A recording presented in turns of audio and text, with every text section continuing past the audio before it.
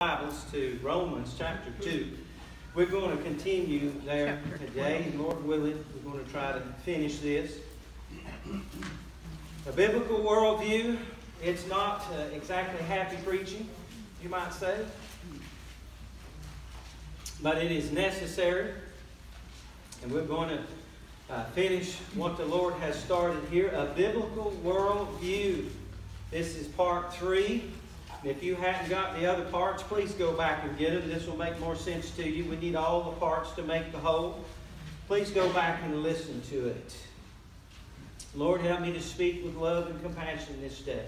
The Word of God says in verse 1, chapter 12 of Romans, I beseech, I urge, I appeal to you, brethren, by the mercies of God, that you present your bodies a living sacrifice, holy and acceptable unto God which is your reasonable, logical, rational, spiritual worship.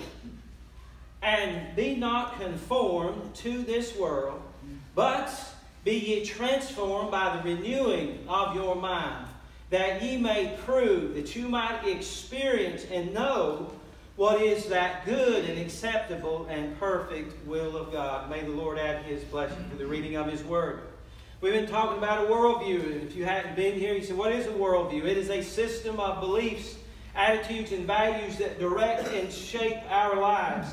It's like wearing a, piece, a, a pair of glasses, and when you wear those glasses, you filter everything through those glasses. We look at the secular worldview, these glasses. It's about hedonism, it's about pleasure, you are the boss. You're in control. You decide who lives and dies. You decide your own moral standard of righteousness. You decide everything.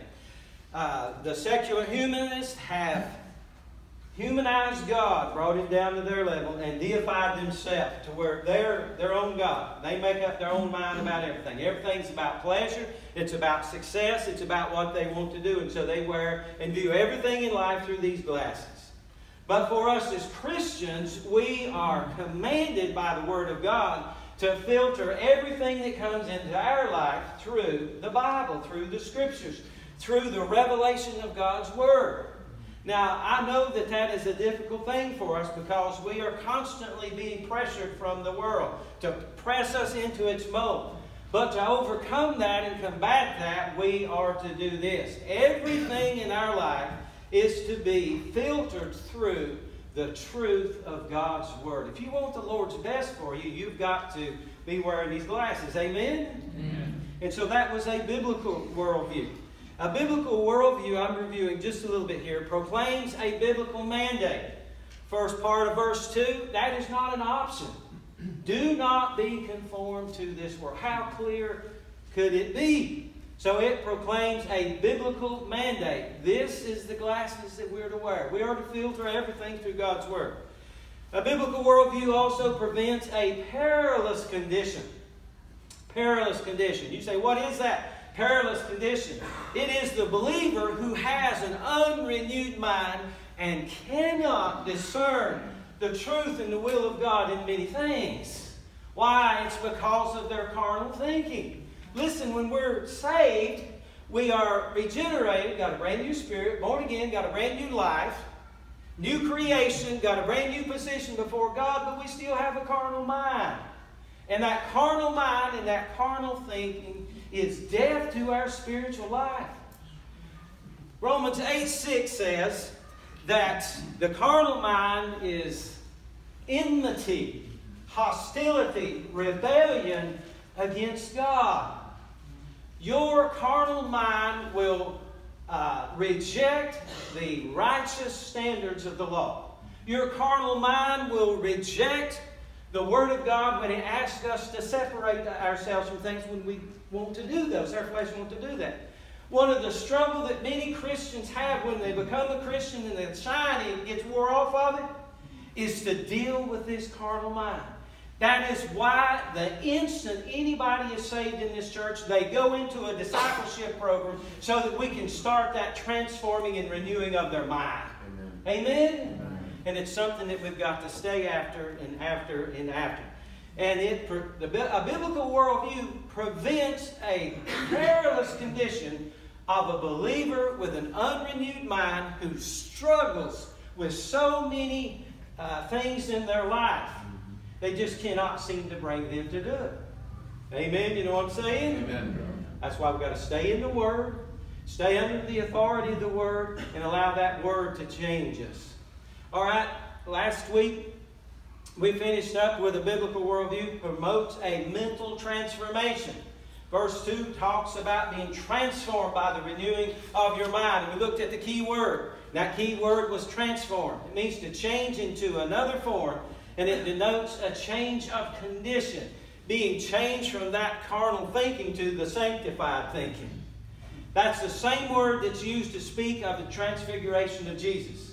On that mount, Jesus allowed who he was on the inside to shine through to the outside. He did not allow his humanity to hide his divinity. And that is exactly what Paul is telling us as believers. We need to stop allowing the world around us to press us into its mold and stop allowing our humanity to hide who we really are on the inside as a redeemed child of God. Hallelujah. That's what he's saying. We have to stop that, and we have control of that. You do not have to be conformed. You can be transformed by the renewing of your mind if you are cooperating with the Spirit of God in the Word of God. Amen? Amen? So that's where we left off last week. Today we're going to go ahead and jump in with what I call the specific process.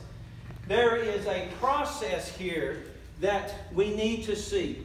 Verse 2 And be not conformed to this world, but be ye transformed by the renewing of your mind. Be transformed by the renewing of your mind. The Greek language is a very descriptive language, way more so than English language. You're reading an English translation this morning. How many of you got your Greek New Testament with you this morning and reading from? I didn't think so. Okay. When you translate the Greek, which is very descriptive, into English, some, uh, in a word for word translation, sometimes there is not an adequate word in the English to bring out the fullness of what the Greek is trying to say. Such is the case with the word transform. And so I need to break that down for you a little bit deeper this morning. There is a specific process that goes with this transformation of the mind that the Spirit of God would have us to see.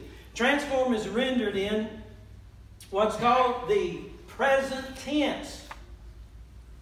Literally, the Greek reads, continue to let yourselves be transformed.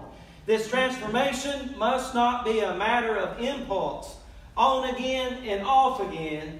It's got to continue.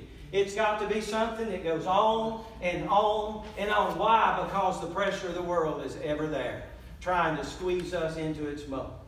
Always. You live in a sin cursed world. You live in a place, I doubt very seriously, where most all people are Christians and they speak right and act right and all. The atmosphere around us is constantly trying to press us into its mold.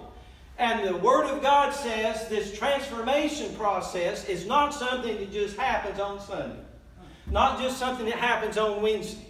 You need to be in the Word every day of your life so the Spirit of God can take the Word of God and transform your thinking and bring you in line with the truth. Hallelujah.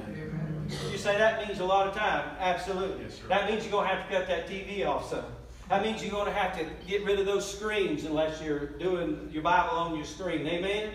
That means you're going to have to spend some adequate time to feed yourself the truth so the Spirit of God can do its work in your life. Next, not only the present tense, but it's in the passive voice. Paul does not say, transform yourselves. The Greek literally reads, let yourself be transformed. The transformation is the supernatural work of the Holy Spirit. You can't save yourself and you cannot transform your own mind. It is a work of the Holy Spirit of God in your life and my life. That means this is a serious work, people. Amen? Amen? You've got to let the Lord do that in your life. The third thing, It's in the imperative mood. As a believer, we are not to be completely passive like we do when we watch TV. Got our remote and just, just uh-uh.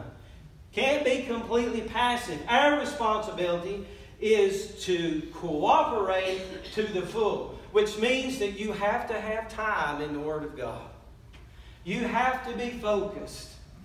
You have to be willing to hear what God is saying to you, and you have to be willing to let the Spirit of God renew your mind and your thinking. How many times have you read over something in Scripture that convicted you of something that you were doing, and what did you say? Did you just pass on and go on? You see, we have got to allow Him to change our thinking. Why is our thinking so important? Because as you think in your mind, your behavior will follow. Your thinking controls your behavior, whether you want to admit it or not. And if you don't believe something is wrong and you don't believe something is inappropriate, it's not very likely you're not going to do it. You're going to do it. If the Spirit of God has half a chance with you, He will convict you and convince you and change your thinking, and then your behavior will follow suit. That is why this is so important. And that is why I plead with you, and I, I, am on you all the time, exhorting you be in the Word all the time. Amen. Be here every time that you can because you are getting an opportunity to be fed and nourished with an anointing that's on this word that goes to you to minister to you. Amen? Amen. And so there is a specific process that we must be involved in and we must cooperate with for the transformation to take place. Woo, this is good. Now, we talked about some insects last week. The word in the Greek here is metamorpho. That's where we get our English word metamorphosis. We talked about the monarch caterpillar and the monarch butterfly. The monarch, in every monarch caterpillar, there is the potential to become a monarch butterfly. But they don't get that way just like that, do they? No, they have to go through a metamorphosis, a transformation. They spin themselves a cocoon and they get in there and some good stuff happens in there. And then what happens? They break out. And when they break out and they go through the process, they come out as a beautiful butterfly. Amen. Every single one of us that's born again by the Spirit of God have a caterpillar mind and caterpillar thinking. And that's got to be transformed by the Word of God and the Spirit of God so that we can have butterfly thinking. Amen. Woo, can you get that? Yes, sir. Yes. Now, let me tell you something about that process. When they spin that cocoon and they get in there, and it's time for them to break out, do they struggle to break out? Yes. Do they strain to get out? Does it take them a while? Yes. They struggle and they strain to try to get through that tiny little hole that's in there. They got these fat bodies that's full of fluid. Now they got wings. But there is no life in those wings. They're dead. And when they go through that struggle and that strain and that restriction, and it takes the fluid that's in the body of that insect and pushes it out into the veins on the wings and it gives them life and it gives them energy. And without that struggle and without that strange strain, they can never become a beautiful butterfly that flies. If you go up there and try to help him and snip the end of that thing, he'll come out and he'll be just like this right here. Drag his wings around for the rest of his days.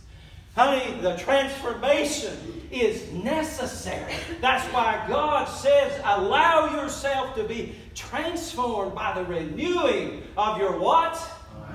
Your mind. Man, I don't want to be no caterpillar. No, sir. My brain. I want to be a beautiful butterfly for the Lord. Amen. I want to bring Him glory. Yes, sir. There is nothing worse than a caterpillar who doesn't go through the process and he comes out on the other side, somebody's clipped it or somebody's helping get out, and he's dragging a set of dead wings around. He looks like a butterfly, but he can't fly like one. Woo! Think about that. Yes, sir. Renewing of your mind.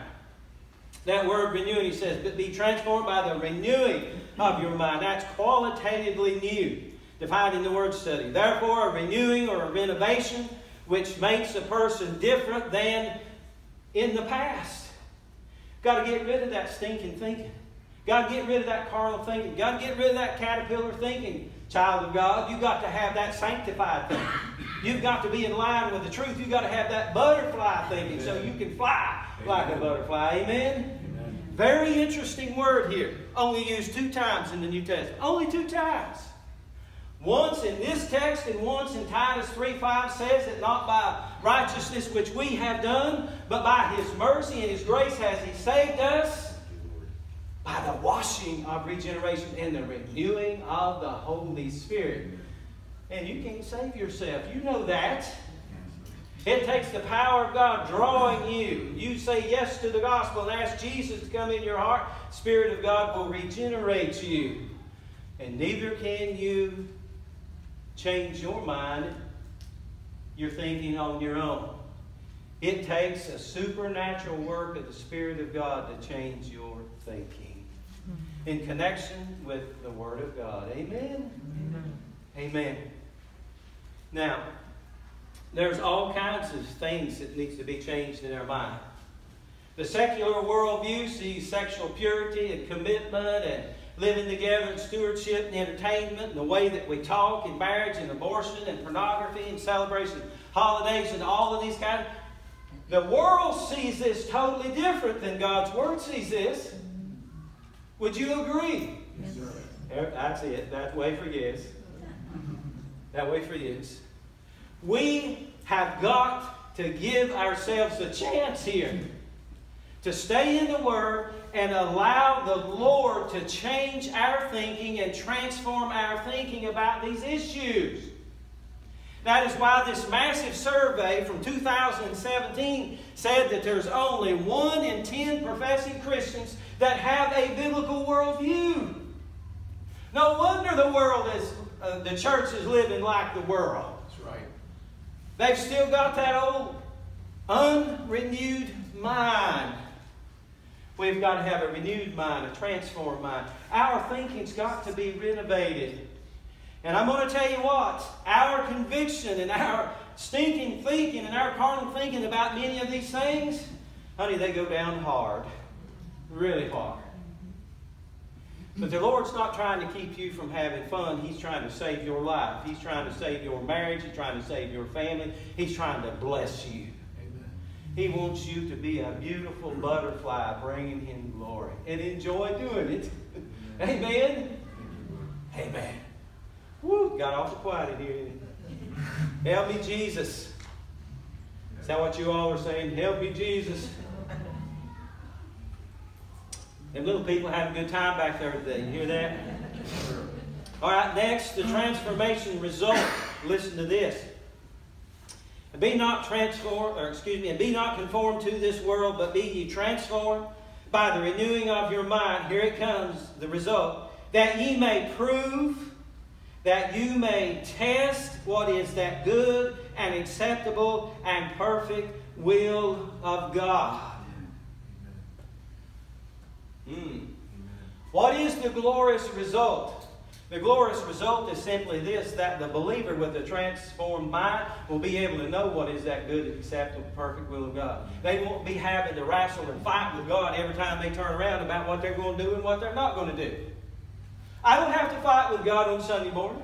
I don't care who's having an anniversary. I don't care who's having a party. I don't care what's going on. I don't have any trouble with my flesh now since my mind has been transformed that my place is right here with the people of God on Sunday morning. Amen. You say, well, that's easy for you to say because you're the pastor. Yes, that's true. I'll give you that. but, honey, it's miserable trying to figure out your schedule. Where are you going to be? What you going to be? Where are you going to do? Hey, I'm over that. I've had my mind transformed. Amen? Amen. Not trying to make you feel bad, just trying to give you the truth here in love. The transformation result. Look at that word prove. It means to try, to test, to discern. It has the notion of proving a thing. Whether it be worthy to be received or not. It's worthy to be doing or not. Basically, what Paul is telling us that when you will prove this out, and if you will measure things and filter things through the truth of God's Word, you will learn by experience that that's not a good thing or that's a good thing. You'll learn it. You'll know. You'll have, you will have to wrestle around and carry on and struggle with yourself. You'll know. Folks, that's a wonderful result. To be able to know in all these situations in life what the good and acceptable and perfect will of God is. Isn't that awesome? Jesus used this same word in a parable in Luke 14 19. Parable of the Great Supper, where he invited all of these people, or a few of the people in, in the community, to come and have a supper with him. And they said, Oh, when you get that supper ready, let us know and we'll come. And so he did. He sent a messenger out, said, The supper is ready, come. And you know what they started doing? Making excuses, saying they couldn't come. One said, I bought a piece of land. I cannot come. I've got to go see. The third one said, I've married a wife and I cannot come. You understand that one, don't you? Married a wife and I can't come. The second man says, I've bought five yoke of oxen, I believe he said. Five yoke of oxen and I can't come. I've got to go prove them. Same word in the Greek text. What does that mean? Well, I've got to go out and hook him up to a plow. I've got to plow with him and find out by experience if I've made a good investment or not. He will learn by experience whether they're a good investment or a bad investment. And when you allow your mind to be transformed by the Spirit of God and the Word of God, filtering everything through His truth, you will know by experience what is that good and acceptable and perfect will of God. Glory. Amen. This is not left up to chance. This is not left up to me to figure this out. This is left up to me to cooperate with the Spirit of God and the Word of God and let God do His work in me and reveal to me what is that good and acceptable and perfect will of God. Praise God.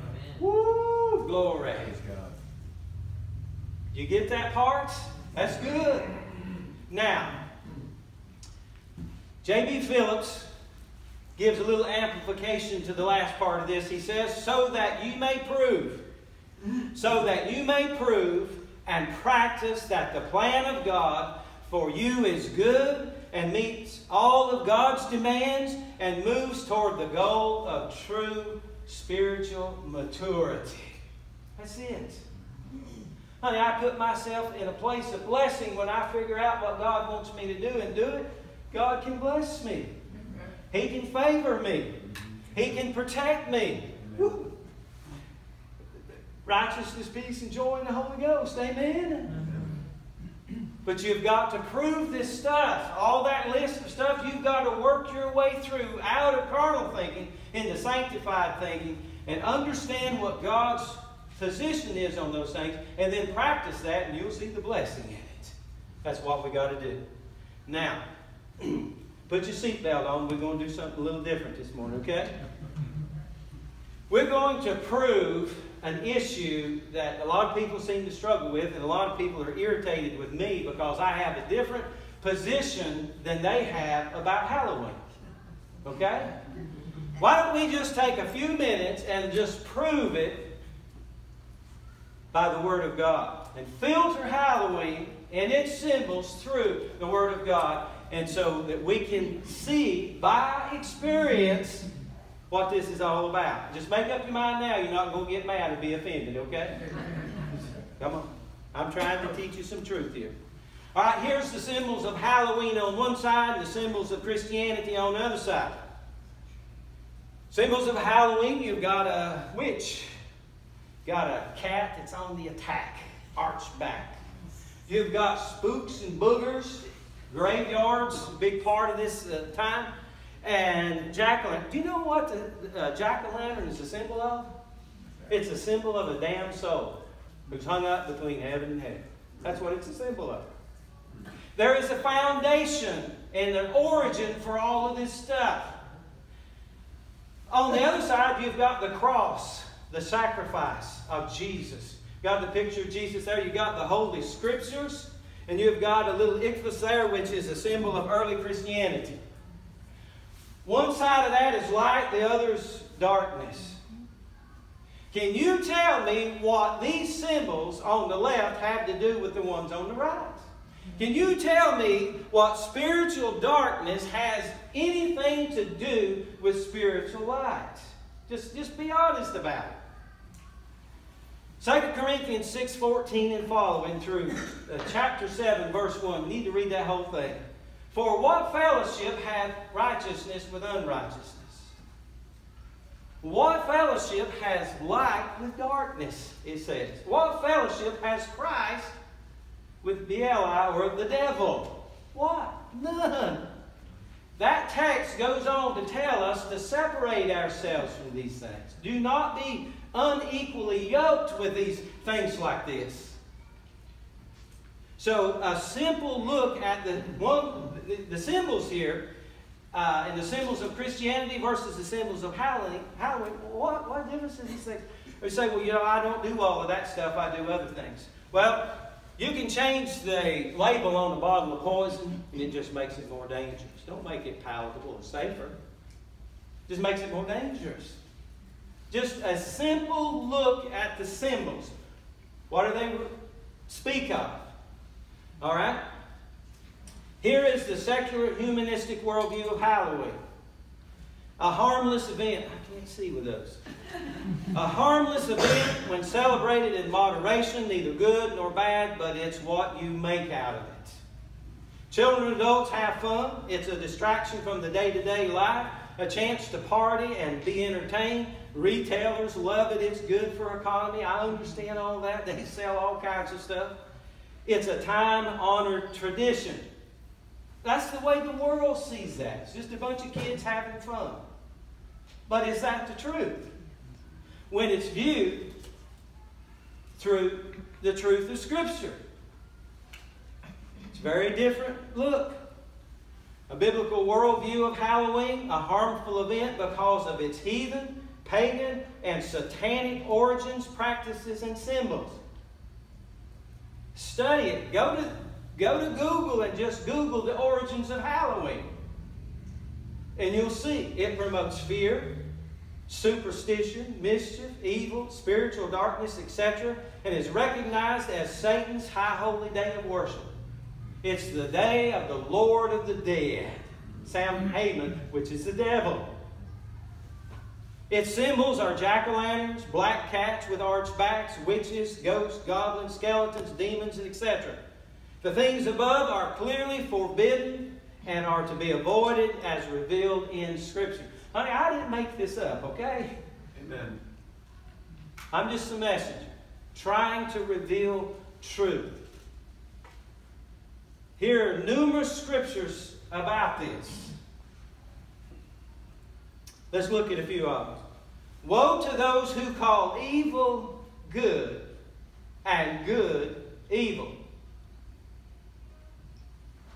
who put darkness for light and light for darkness. Wow. Who put bitter for sweet and sweet for bitter. Woe to those, and the word woe means judgment, to those who are wise in their own eyes and prudent in their own sights. We need to be very careful about calling what the Scripture calls evil and call it good. We need to be very careful about calling something that is spiritual darkness, calling it light. Ephesians 5 8 and 11 through 11. For you were talking about uh, believers here when they were lost. You were once darkness, but now you are light in the Lord. Walk as children of light, for the fruit of the Spirit is in all goodness, righteousness, and truth. Finding out what is acceptable to the Lord, and have no fellowship with the unfruitful works of darkness, but rather expose them. Amen. You think Halloween is fruitful works of light? It's not. It's unfruitful works of darkness. He says, expose them. Don't Christianize it. Don't water it down. Don't try to make it something else. Call it what it is in love and try to encourage the truth to people and bless them with. Amen? Amen. That's just two scriptures. Here's two more. Beware lest anyone cheat you or deceive you through philosophy and empty deceit according to the traditions of men, according to the basic principles of this world, and not according to Christ. You think Jesus is behind, Christ is behind Halloween? Therefore, whether you eat or drink or whatsoever you do, do all to the glory of God. I cannot celebrate Halloween to the glory of God. Now, maybe you can, but I cannot. My mind has been transformed and renovated on this subject years ago. Listen, I've been there, done that. I know by experience both sides. Dawn and I did it with our uh, oldest son for several years until our mind was renovated on this subject and we understood we need to separate ourselves from it. You say, Pastor, don't you know that these people in churches all over the place is doing it? Hey, I ain't responsible for them, okay? I understand. I'm not responsible for what they do. I'm only responsible for myself and the people that I lead. Amen. And I'm trying to give you the truth as I understand it from the Word. You have to, you have to work your way through this. I'm not asking you to do this because I do it. I'm asking you to do it because it's in the Word. Amen. And you work your way through this, okay? Therefore, whatever you eat or drink or celebrate, whatever you do, do all to the glory of God. Listen to this one. Test. That word in the Greek text is the same one in Romans 12 2. Prove or test. Same exact Greek word. Test, prove all things, hold fast to what is good, abstain from every form of evil. Man, that's clear. Amen? Yes, Beloved, do not believe every spirit, but test the spirits whether they are of God. Do you really believe in your heart and in your mind that God is behind Halloween? Yes, sir. You believe in your heart and in your mind that Jesus is behind Halloween and he's down with it, he's cool with it. Yes, Test the spirits and see what sort they are. There's somebody else behind that holiday. Amen? Amen. Be transformed by the renewing of your mind so you'll know what is that good and acceptable and perfect will of God. Know it by experience. Prove this out for yourself.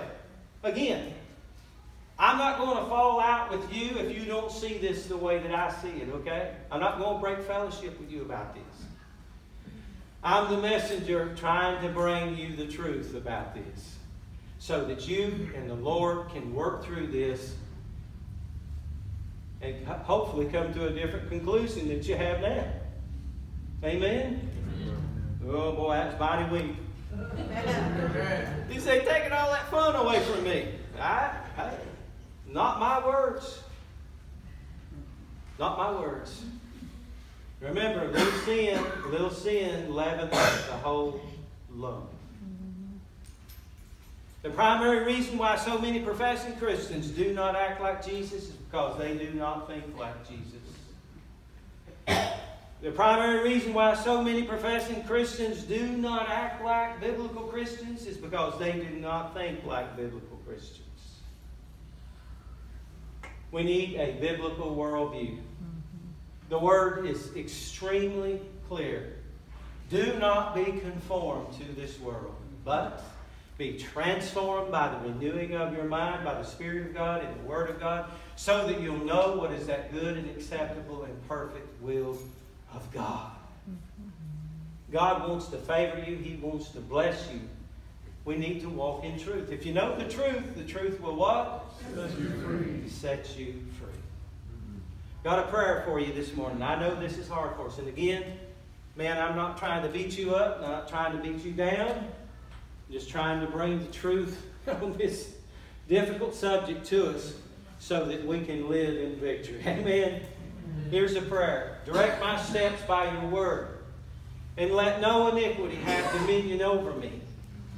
Redeem me from the oppression of man, that I may keep your precepts. Say that with me, church.